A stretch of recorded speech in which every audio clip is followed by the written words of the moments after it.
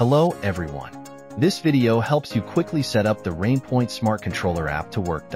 Plug on the MiniBox hub near the router, select MiniBox hub, then enter the Wi-Fi information and go next. Press and hold the button on the MiniBox hub for about 5 seconds until the connecting indicator quickly blinks. Select the checkbox and go next to start searching devices. When device found, please click plus to add the device. Now add the device to your app successfully. Select Gateway to add two-zone water timer device. Select Next and start searching devices. At the same time, insert the batteries, and then the indicator will quickly blink in red dot.